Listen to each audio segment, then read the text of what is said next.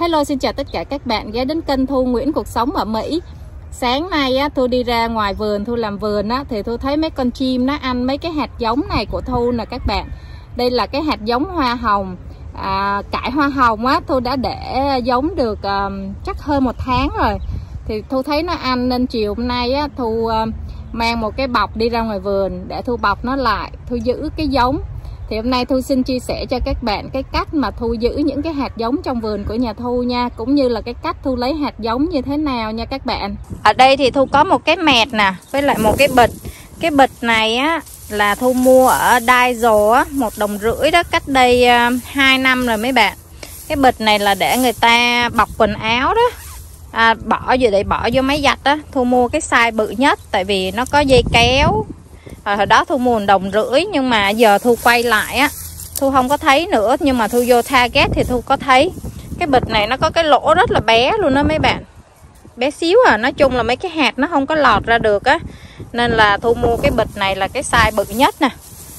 Mấy bạn mà có muốn mua là mấy bạn mua cái size bự nhất nha cái bịch giặt quần áo đó. Xong rồi ờ, thu ờ, dùng để thu bọc cái hạt giống lại. Bây giờ cái cái đây là cái hạt giống mà cũ từ bữa thu đã lấy um, cách đây được hai tuần rồi của cái vườn khác đó thu phơi khô. Thì uh, bây giờ nó đã khô rồi thu làm như vậy nè. Thu vò nó ra cho nó rớt hết hạt ra mấy bạn.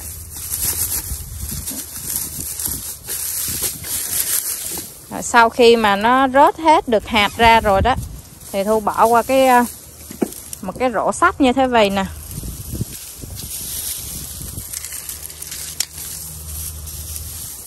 Tôi đổ nó qua. Xong rồi thu sàn nó xuống. Ừ. Cái hột nào mà nó lọt qua cái à, lỗ này thì thu lấy. Thì tôi bóp còn bao nhiêu thu bóp cho nó rớt ra hết luôn.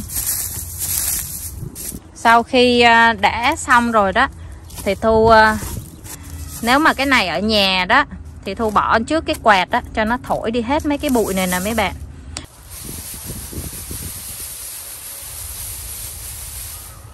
Vậy là bây giờ tôi đã có một rổ hạt giống rồi nè các bạn.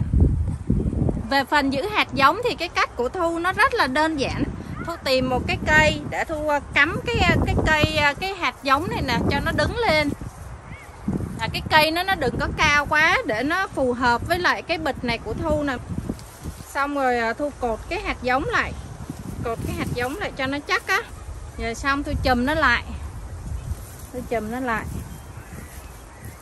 Các bạn phải tìm cái bịch à, nó có lỗ lỗ nhỏ nhỏ nha, nhỏ xíu. Với lại à, mấy bạn tìm cái cái bịch nó phải có lỗ nha. Các bạn lấy cái bịch ni lông á mà các bạn chùm lại là thời gian có thể cái hạt của các bạn nó nó nó bị ẩm á. Rồi nó nó hư cái hạt của các bạn luôn đó nha bạn thấy cái à, cái bọc của thu nó có cái à, cái sọc ba tia không? Cái ziplock à cái à, cái cái sạc ba tia nè. Phục ba tia hay cái gì đó thu kéo nó lại. Khi nào á, mà cái hạt của thu á, mà nó vàng á là thu cắt luôn cái cây xong thu lộn ngược nó lại. Thu bao cái này lại luôn là tất cả các hạt nó nằm trong đây là thu chỉ cần lấy hạt giống như cái cách lúc đầu thu uh, chia sẻ với các bạn thôi là xong. Các bạn ơi đây là cái cách mà thu giữ hạt giống để cho mấy con chim nó khỏi ăn hạt giống của thu á cũng là cái cách mà Thu à, lấy hạt giống đó. Bây giờ Thu với các bạn đi thu hoạch rau nha. Hôm bữa Thu đã thu hoạch được một ít mấy cái bông cải ở vườn này rồi nè các bạn. Hôm nay thì nó có mấy cái rất là bự luôn nè. Hôm nay Thu sẽ thu hoạch mấy cái bông cải này nha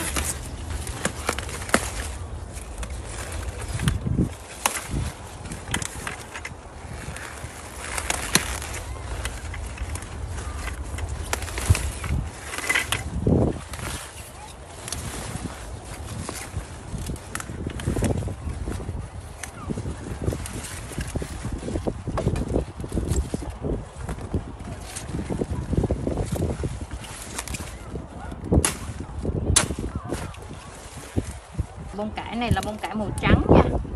Thu giữ lại à, cái lá này luôn nè. Tại cái lá này luộc với bông cải ăn cũng ngon lắm á mấy bạn. Wow, ở đây cái bông cải này, nó cũng rất là mỡ màng luôn đó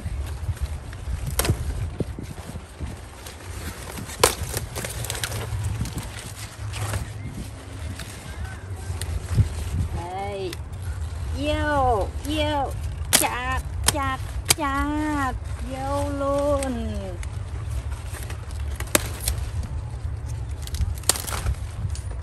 trời ơi bông cải này mà về hả? Xào ăn hay là kho cá mấy bạn hả? Xong rồi cái bắt đầu à, mình à, luộc á. Cái mình chấm với nước cá cái dặm ớt vô nó cay cay á. Ngon lắm. Đây. Thôi bây giờ mình à, đây nè. Đây có cái này nè mấy bạn thấy không? Cái này nó cũng nở luôn rồi nè. Đó. Đây nở luôn rồi nở tét bét rồi.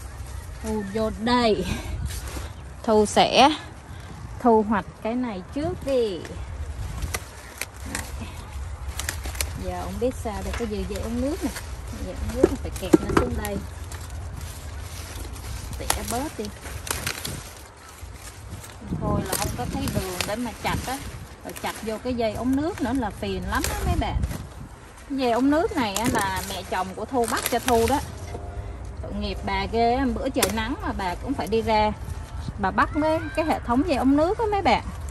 Tại vì um, sợ sợ rồi thu làm không được á nên là à, vườn của thu á có ba cái vườn á thì thu bắt hệ thống ống nước.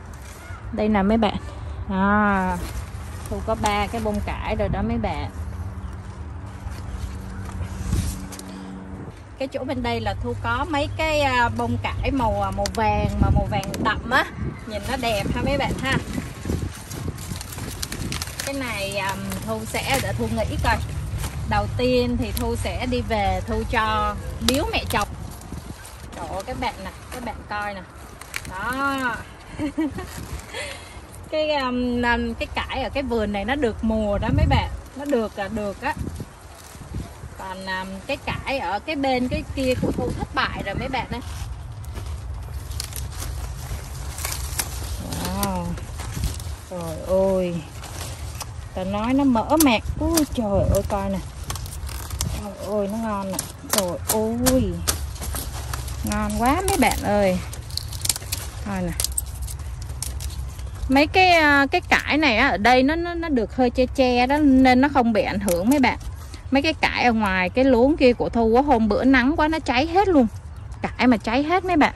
Đây này đó, mấy bạn thấy không? Các bạn thích cái bông cải nào?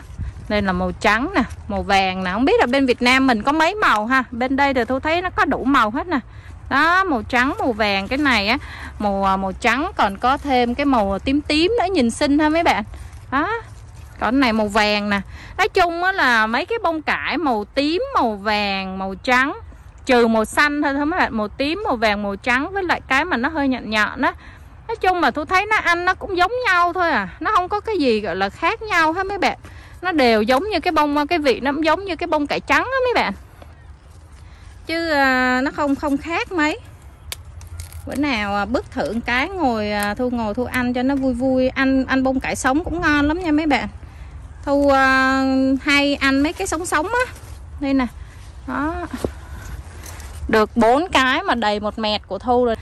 Ừ không biết có không biết là thu có nên bứt cái này không ha? Các bạn coi này, cái này này nhìn ngon chưa nè? Đó, thấy không? Bây giờ thu ngồi ở trong cái luống này luôn.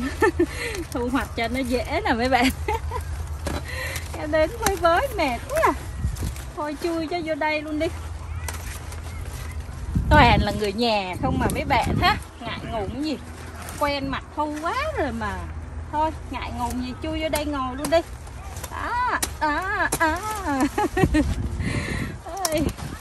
ngày nào cũng cách ngày hay ngày là thấy mặt thu lên rồi có gì đâu ngại ngùng nữa mấy bạn muốn chui đâu chui ngồi cũng được mà.